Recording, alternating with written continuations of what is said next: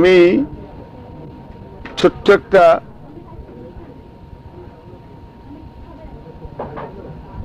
হাদিসের মাধ্যম দ্বারা মানে কিছুটা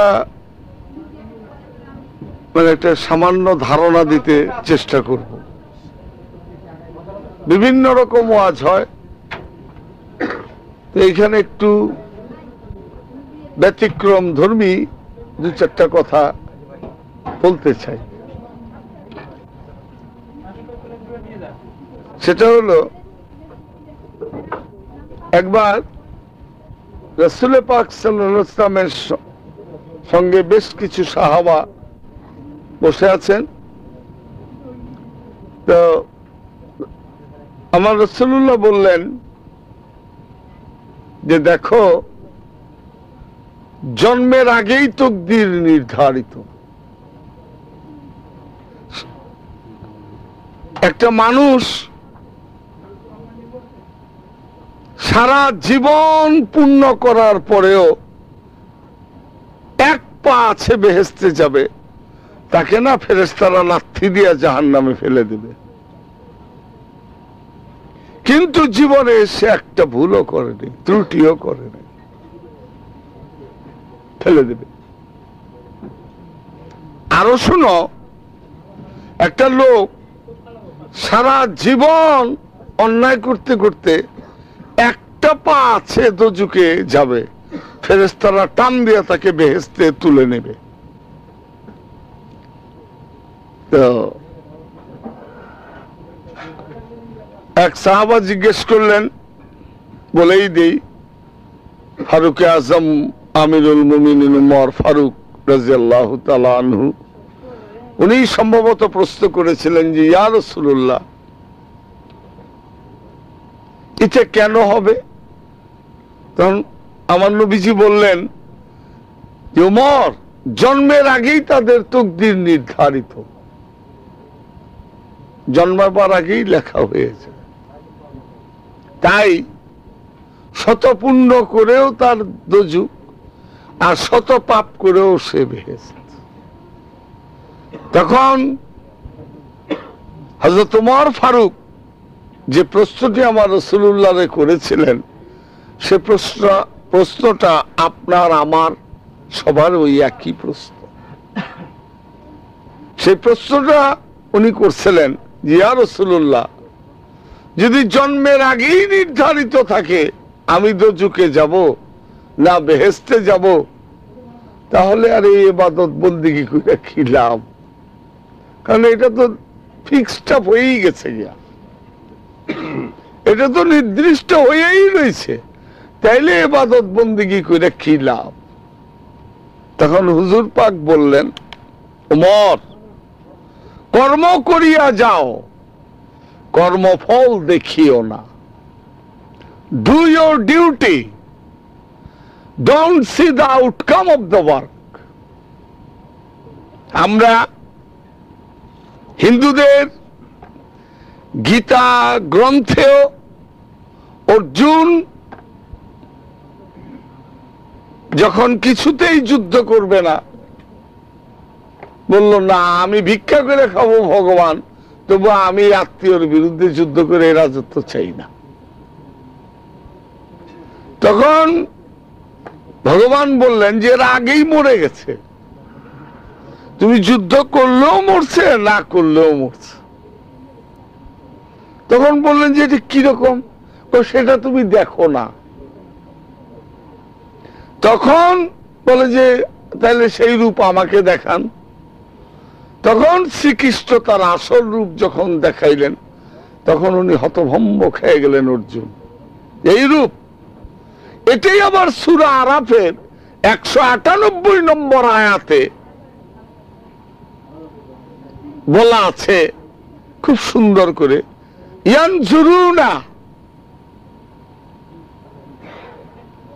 ইয়ান জুরুনা ইলাইকা। ইয়ানজুরুনার মূল শব্দ হল নজরুন। নজরুন থেকে নজর। দৃষ্টি দেওয়া, দেখা। ইলা দিকে কা আপনার দিকে কাকুমাকুম আপনার দিকে তাহারা দেখিতেছে। ওয়া এবং হুম তাহারা, লা ইউফসিরুন। ইউফসিরুনের মূল শব্দ বাসরুন বাসরুন দেখা। তাহলে কথাটা কি দাঁড়াল? ইয়া রাসূলুল্লাহ, আপনাকে তাহারা দেখিতেছে। অথচ তাহারা দেখিতেছে না। এটি কিন্তু আবু জাহেল, আবু লাহাব ওতবা আবদুল্লাহ সাবা তাদের না, অনেক সাহাবারাও। সবাই পূর্ণ পরিপূর্ণ রূপে রসুল্লাহকে দেখতে পারে নাই। আমরা সাহাবাদের সম্মানের সঙ্গে বলি, বড় বিশ্বাস তো এমনই সাহাবিকে সম্মান দিয়েছে যে একেবারে বইলেই ফেলাইছে যে সাহাবিদের ঘোড়ার নাকের ধুলাও নামবে। এটা বিনয় সাবমিশন এটা বিনয় এরকম দশ পাঁচটা সাহাবি পকেটে রেখে ফালাইয়া দেয়, বড় বিশ্বাস এরকম দশ পাঁচটা সাহাবি ফালাইয়া দেয়। আরে মিয়া একুশ হাজার রসুলের সাহাবি। কি করে কারবালার মাঠে? আওলাদের রসুল বাহাত্তর জনকে শাহাদাত বরণ করায়। সেখানে একুশ হাজার রসুল্লাহ সাহাবি ছিল। লজ্জা করে না? এরা কি সাহাবিতে? হ্যাঁ? থেকে নিয়ে উমাইয়াদের শাসন ছিল বিরানব্বই বছর, মাত্র দুটি বছর। উমর ইবনুল আজিজের সময় ছাড়া এই নব্বইটি বছর পাক পাঞ্চতনের উপরে অভিশাপ বর্ষণ করা হইতো, লানত দেওয়া হইতো জুম্মা নামাজের খুদবার সময়। এটা ইতিহাস। কি অভিশাপ দিত জানেন? মাওলা আলী খাতুনে জান্নাত, ইমাম হাসান, ইমাম হুসাইন।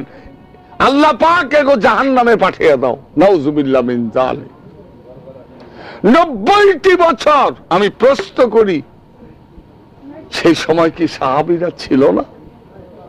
ইসলামের ইতিহাস বড় করুন, বড় মর্মান্তিক।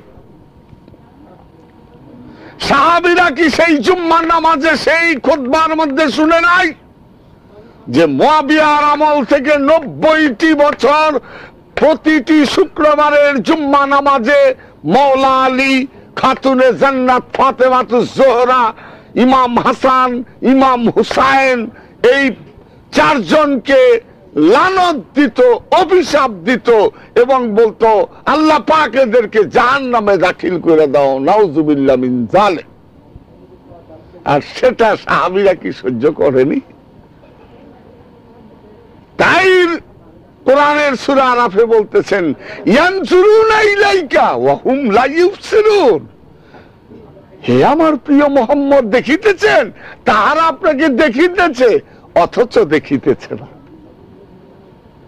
আপনি তো দই খান মিয়া। এই মাইক্রোস্কোপটা দিয়া দেই। দেখবেন কতগুলি কোটি কোটি পায়খানার মধ্যে যেরকম পোকা, ওইটা দেখলে জীবনে বমি হয়ে যাবার জীবনেও দই খাইবেন না। আর আপনি তো উপরে দেখতেছেন দই। ইয়ানজুরু না ওই দেখিতেছেন দই? আসল দই দেখিতেছেন না। মাইক্রোস্কোপ দিলে আর জিন্দিগিতেও দই খাইবেন না। বুঝছেন? এই যে রক্তে মধ্যে জন্ডিস হয়েছে কিনা, সিরাম বিলোরবিন টেস্ট করলে বেরিয়ে যা। তাহলে এমনি দেখি জন্ডিস, না পেশাব। ওই দিক দিয়ে সিরাম বিলোরবিন বেশি বেড়েছে।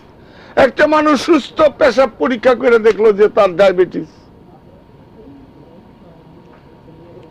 তাহলে প্রত্যেকটা জিনিসের মধ্যে আমরা দেখিতেছি, অথচ দেখিতেছি না। সৃষ্টির প্রত্যেকটা জিনিস আমরা উপরটা দেখি, ভিতরটা দেখি না। আমার আপনারা দেখতেছেন। কি সুন্দর একখান টুপি পরছি, বাংলাদেশে এই টুপি নাই। বোধহয় আপনারা জীবনে টুপি দেখেন নাই সম্ভবত। কি সুন্দর জুব্বা মুব্বা পড়ছি ভিতর উপরটা সুন্দর। ভিতরটা হয়তো আমার কিচ্ছু না। ভিতরটা হয়তো আমি ফেরাউনের চেয়েও খারাপ, এবং তাই। কারণ ফেরাউনই মানাই না, মারা গেছে। আমার সন্দেহ আছে যে আমি মানাই না। শেষ সময় আমার ইমান আসে কি ওই ফেরাউন না, রামেসিস না, মার নেম তা, যেটা নীল নদীতে ডুইবা মরছে।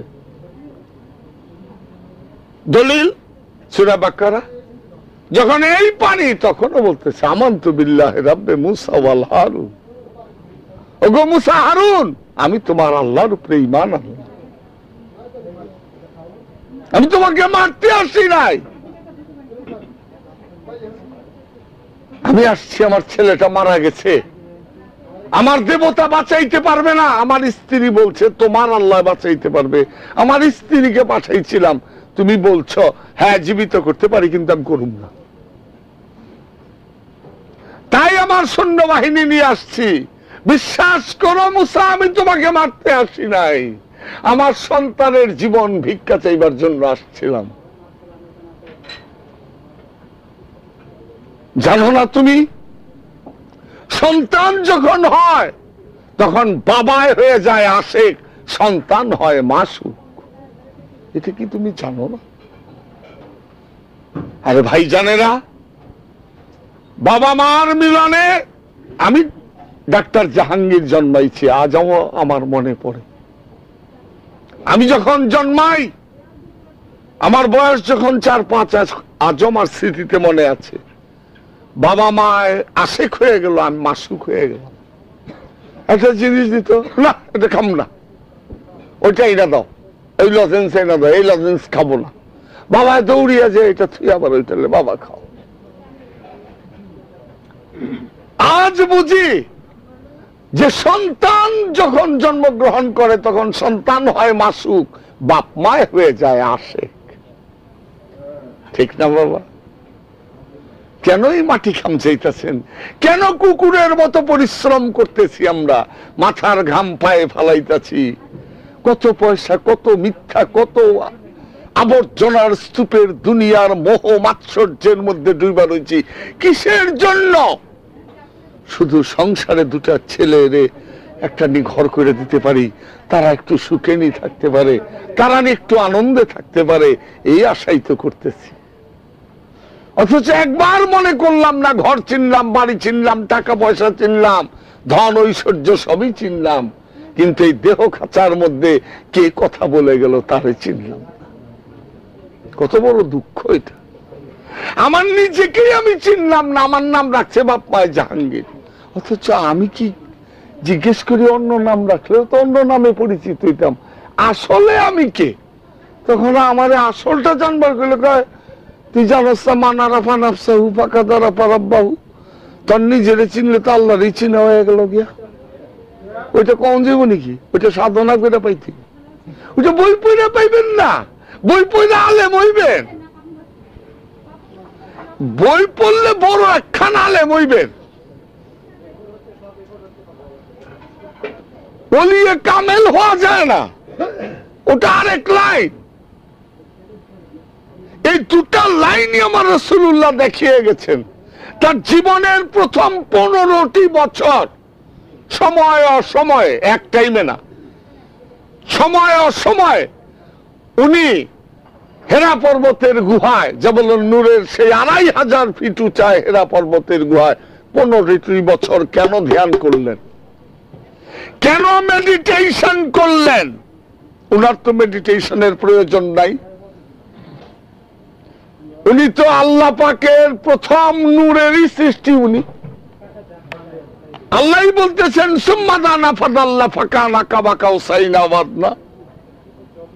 আল্লাহ বলতেছেন যে, আমার নূর থেকে আমি রসুল্লাহর সৃষ্টি করছি। বাবা মায় যদি সন্তান তৈরি করে বাবা মায় আশেক হয়ে যায়, সন্তান মাসুক হয় এটি তো বোঝা যায় আল্লাহ নূর, আল্লাহর নূর থেকে মোহাম্মদকে বানাইছে। সুতরাং মোহাম্মদ মাসুক, আল্লাহ আসে কথাটা বুঝলেন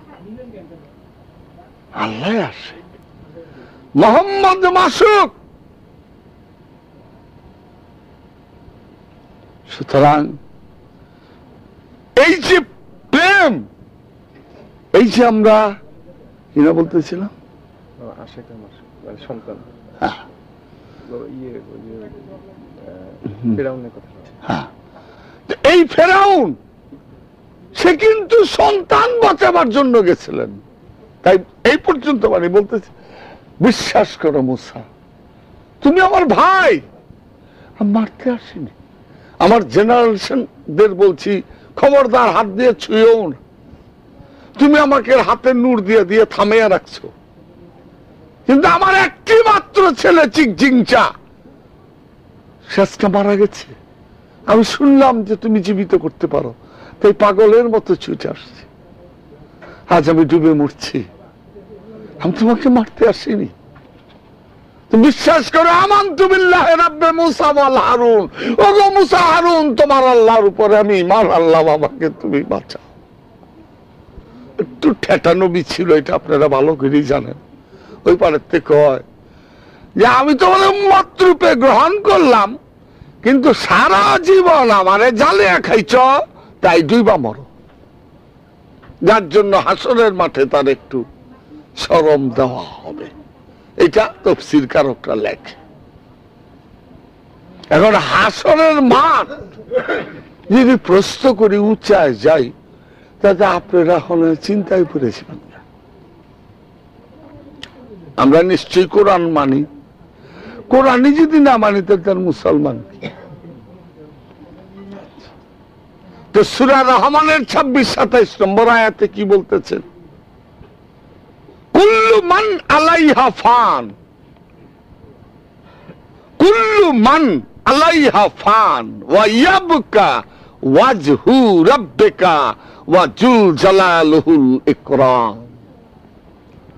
কুল্লু সমস্ত কিছু মান, আরও যা কিছু আছে, ডাবল শিওর মানে কক শিওর, ভেরিলি, অবশ্য অবশ্য, আল্লাহ জোর দেয়, খুব জোরে জোরে।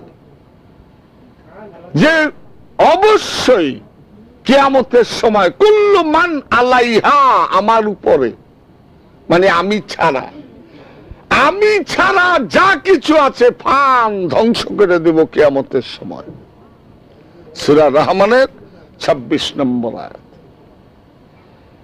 কুল্লু মান আলাইহা ফান, আমি ছাড়া যা কিছু আছে সব ধ্বংস করে ফেলব। শুধু থাকবে কি? মূল শব্দটি কি? বাক্কা। বাক্কা মানে চিরস্থায়ী পার্মানেন্ট শুধু চিরস্থায়ী পারমানেন্ট থাকবে। ওয়াজহু, চেহারা। রাব্বেকা, তোমার রবের চেহারাটা শুধু থাকবে। সেই চেহারাটা কীরকম? জুল জালাল, জালালিয়া, ওয়াল ইকরাম কারামত তোমার রবের কারামতওয়ালা এবং জালালি চেহারাটা ছাড়া কিয়ামতের সময় সব কিছু ধ্বংস করে ফেলব। তাই ফাবে রাব্বে কুমা তো কাজিবা তাহলে তুমি আল্লাহর কোন নিয়ামতকে তুমি অস্বীকার করো? আমার তো মাথা গরম হয়ে গেছে যে এটা কি কয় রে আল্লাহ? আল্লাহ তো এটা কি কয়? আমি মাসাল্লাহ এখানে তো আমি গালি গালাজ করবার চাই না, কারণ এখানে আমার মুড়িদের বাড়ি। খালি ওয়াজ করে গেলে অনেক মৌলবী গাঠিলে পলে জায়গা। গাঠিলে পলে এই জায়গা, অনেক জায়গা এইখানে কি বলল আল্লাহ? এটা কি মন কথা কন আপনি? কিয়ামতের সময় আপনি সবকিছু ধ্বংস করে ফেলাইবেন। শুধু ইয়াবকা শুধু আপনার কারামতওয়ালা জালালি চেহারাটা শুধু থাকবে। তাই তুমি আমার কোন নিয়ামতকে অস্বীকার করো?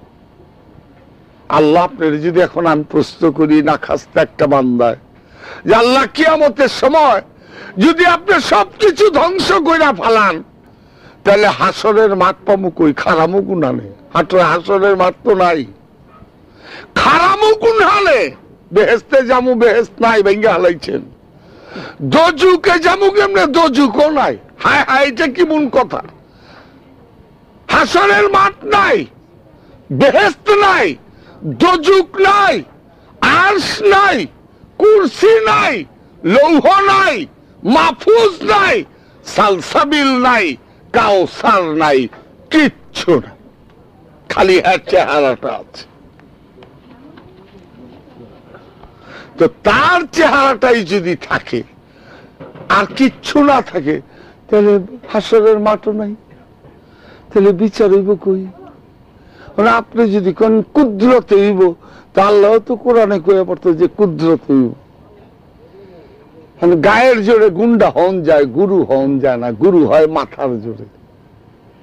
গায়ের জোরে বাস লইয়া পারবেন। বাস দিয়ে পিছিয়ে পারবেন কিন্তু মাথার জোরে সব। এখন চিন্তা করে দেখি যে আল্লাহ, এটা কেমন কথা? সবই যদি তুমি ধ্বংস করে ফেলাও, শুধু তোমার চেহারাই থাকে, তাহলে আমি হাসনের মাঠে দাঁড়াবো কোথায়? বিচার হবে কোথায়? আর বিচারে বেহেস্ত বেহেস্তে যাব বেহেস্ত নাই, দোজুক নাই, কিচ্ছু নাই। এটার উত্তর এখন আমি জানি না, দাগন ভৈয়ারও আজ বলছিলাম। যে এটার যে উত্তর দিয়ে পারব, তার আমি পাঁচ হাজার টাকা দেব। পনেরো বিশ ছিল, মাথা নিচা করে উত্তর নাই। আছে আবার, এটা বলুম না। দেখেন কি রহস্য। তাহলে আমি কি প্রথম বললাম?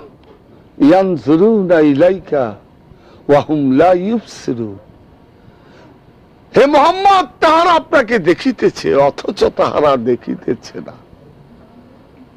চোখ দিয়ে দেখতেছে, অথচ দেখে না, এটা কীরকম কথা? চোখ দিয়ে দেখতেছি দুধ, ওর মধ্যে পানি মিশিয়ে থুইছে, জানি না। বেজাল চোখ দিয়ে দেখতেছি খাসির গোস্ত। পরে শুনলাম এটা বকরির গোস্ত বেড়ার গোস্ত। কষাইরা কত ধোকা দেয় না? চোখ দিয়ে দেখতেছি গরুর গোস্ত লেগেছি পরে শুনি এটা মহিষের গোস্ত। দেখিতেছি গরুর গোস্ত আনিয়া দেখিলাম মহিষের গোস্ত। কেমন কথা। দেখিতেছি খাঁটি দুধ বাড়িতে না দেখি ডলডলা পানি। তাহলে দেখা দুই রকম একটা ভিতরের দেখা একটা বাহিরের দেখা। বুঝলেন বাবা? এই ভিতরের দেখা যেটা, সেটাই আত্মার বিজ্ঞান। আর এই যে বিজ্ঞান, এটা হলো বস্তুর বিজ্ঞান। দুটারই প্রয়োজন আছে। দুটারই পারপান্ডিকুলার একভাবে চলতেছে। বস্তুর বিজ্ঞান উন্নতি না হলে আধ্যাত্মিক বিজ্ঞানটা মানুষ বুঝতে পারে তাই আজকাল পৃথিবীর মধ্যে সবচেয়ে বেশি পীর মানে আমেরিকানরা। সেকেন্ড মানে সুইজারল্যান্ড। থার্ড মানে ইন্ডিয়া ফোর্থ এলাকি আমরা বাংলাদেশে কিছু মানলে মানে কথাটা বুঝলেন? আরেকটি প্রশ্ন আসে, যে আমরা কেন গুরু ধরতে যাব? এটাও তো একটা প্রশ্ন আছে আপনি সারা কোরআনে আপনি বলে থিছেন যে আপনি আমার মনের কথা জানেন, সবকিছু জানেন। তা আপনি যখন সবকিছুই জানেন, তাহলে পীর ধরতে যাব কেন? আমি নামাজ পড়ব। আপনার কাছে হাত তুলা চামু চাওনো শিখিয়ে দিচ্ছেন, সুরা বাকারায়, উমুকটায়। এমনে চাইও অমনে চাইও জুলুম করছি, এইটা করছে। না, আল্লামা ইকবালের কথা আলাদা। উনি বলতেছেন, উনার কথা আলাদা। যে হারফে দোয়া, ইয়াদ নাহি। তুই যে দোয়া আমারে শিখে দিছ ওই দোয়া আমি আর তুলুম না। আমি তোতা পাখি পাস নাই যে, রাব্বা, না, জালাম না। তুই যা শিখাইছ ওইটা কুমা। আমার মন মতো আমি কম। ওটা আল্লামা ইকবালের সাজে, ওইটা আমি পারি না। আমি হইলাম চুনো পুঠি তুমি যা শিখাইছো, তাই কমু আল্লাহ গো, জুলুম গেছি আল্লাহ গো, মাফ করে দাও। এইটার আবার দলিল আছে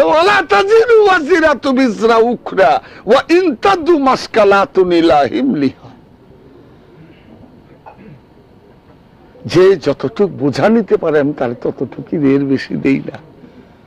আমি একজনের বোঝা আর একজনের দেই না। আমি বাবার পাপ ছেলেরে দেই না, ছেলের পাপ বাপেরে দেই না, যার যার পাপ পুণ্যের হিসাব তার তার দিতে হবে। কোরআন বইলেই কথা। এটা আমগো দুনিয়াই দেয় না।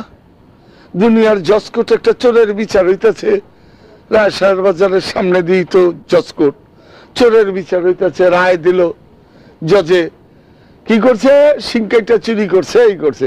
তিন মাস জেল। দিয়া এমনি জর্সা ফুসকি দিয়ে দেখল যে রায় রায় সাহেবের বাজার থেকে একজনে পুঁই শাক পালং শাক কিনা মাছ তরকারি টিন টিন টিন টিন করে আইটা যাইতেছে করল এই পেয়াদা, এই খালাস করে দাও ওই যে বাজার করে আসছে থাপা দিয়ে দই রাই না জেলে দিয়ে দাও। আমরা দুনিয়ার জসকটেই তো এটা করব না। করব? আর আল্লাহ তো আদিল, সূক্ষ্ম বিচারক। সূক্ষ্মেরও সূক্ষ্ম। আল্লাহর পক্ষে এটা সম্ভবপর না। দুনিয়াই করে না। চোরের বিচার চোরেরই হয়। তা আল্লাহ বলতেছেন, ওয়ালা তাজিরু ওয়াজিরাতু বিজরা উখরা ওয়া ইনতাদু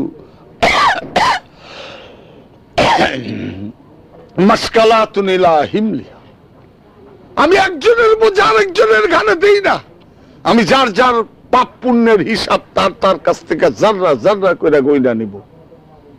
কেন নেবেন? ওই যে একটু স্বাধীনতা দিচ্ছে জন্মের পরে যে আমরা মৃত্যু পর্যন্ত এই স্বাধীনতা এই স্বাধীনতাটুকের মধ্যেই আমরা সত্য মিথ্যাটা বুঝব। এই স্বাধীনতার মধ্যে উনি হাত বাড়াবেন না। এই হাত দিয়ে একটা এতিমরে আদরও করতে পারেন। এই হাত দিয়ে একটা এতিমরে থাপড়ও মারতে পারেন। এটা আপনার ইচ্ছা। এই স্বাধীন ইচ্ছা শক্তির বিচারটা আপনি নেবে আচ্ছা নেন আল্লাহ। আপনি বলে বাপের পাপ পোলার দেন না, পোলার পাপ পাপের দেন না। হাসরের মাঠে যার যার আমল নামা নিয়ে উঠবে। এরকমও কথা আছে, যার আমল নামা ভালো হবে, তারটা ডান হাতে উঠবে। যারটা খারাপ হবে, তারটা বা বাম হাতে উঠবে। এগুলো তো আপনারা সবই জানেন। তবু আমি এই পেচাল পারতাছি। আল্লাহ পাক আপনি সত্যি তো বলছেন, দুনিয়ার জজ একটা চোরের রাইখা, ওই রায় সাহেবের বাজারে বাজার করে আসতেছে, তারে জেলে দেবে না। ইনোসেন্টরে আপনিও তাই করবেন না। আপনি তো আরও আদিল, বিচারকের বিচারক। আবার আপনি বইলেও লাগছেন যে সব বান্দার বিচার করুম একবার, যে বিচার করে তার বিচার করুম দুইবার। খাইছে কাম। এটা বোধহয় জানেন না। এই যে মোরলগিরি করেন, সাবধান। আমার চাচাতো ভাইয়েরা মোরল আমি তো বড় ভাই, আমিও ধরেন অটোমেটিক্যালি মোরলগিরি আমাকে মিয়া ভাই, আপনি আহেন না কেন? আমি কই, আমি যাম বাড়িতে কি এর লিগা? একটু কর না ভাই। ও অনেক বিচার করে। আমি দেখ আল্লাহ সব বন্দার বিচার করব একবার। এই যে একজনের বাড়ি মাইপা দিতাছি, যদি চাই আঙ্গুলে এই দিক ওই দিক হয়, তাহলে আমার বিচারটা, যে বিচার করব তার বিচার হইব আরেকবার। একবার বান্দা হিসাবে, একবার বিচারক হিসাবে। তাই আমি কোনো বিচারে যাই না। ক ভাই, আমি আর যাব না। এটা দেখ শরীরটা ফুলাইয়া পান গাছ, চিবি- দিয়ে কিরে ফেলা নির্বাক জায়গা বলেই করছাস। এই আট দিনের মধ্যে গুদা যতদিন তরং বরং গুদা শেষ, আস্তে আস্তে বুঝে যে হানে কবরে যাব, হানে আল্লাহরে ডাকি। আল্লাহ বুঝে। ডাক বানাইছ? সারা জীবনই কইরা।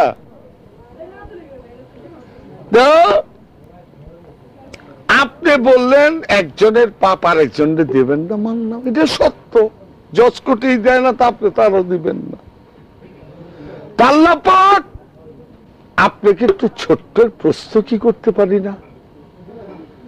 জান্নাতে কে ছিল আদম আর হাওয়া? তাই ছিল না। ওনারা আরামে রয়েছেন। গত শুক্রবারে সাদুল্লাহ সাহেব জনকণ্ঠে আমার সম্বন্ধে খুব সুন্দর লিখছে আমি আবার জানতাম না। আজকা একটু বলেই দিই বিডিআরের এক সাম ব্রিগেডিয়ারের বউ ওরা আমার ভক্ত। তো বলতেছে, বাবা, আপনার নাম ওরকম কোস কি? জানেন না নাম, কিন্তু পেপারটা বোধ আড়াই হালাইছি। আমি অক্ষণে যে বিডিআর একটা দিয়ে পাঠিয়ে দিই। ব্রিগেডিয়ার যায় দিই হা পড়ছে। এই কিছুক্ষণের মধ্যে এটা আবার ওর মধ্যে লেখা আছে, পি ওয়ান, কাটা। মানে ওটা বোঝা গেল যে বিডিআর এই কাগজ। তা আমারটা ঠিকই আছে, আমি চাই দিই, বাহ সাদুল্লাহ সাহেব আমার সম্বন্ধে খুব সুন্দর লেখছে। যে উনার কথাটা আমি গ্রহণ করলাম অপূর্ব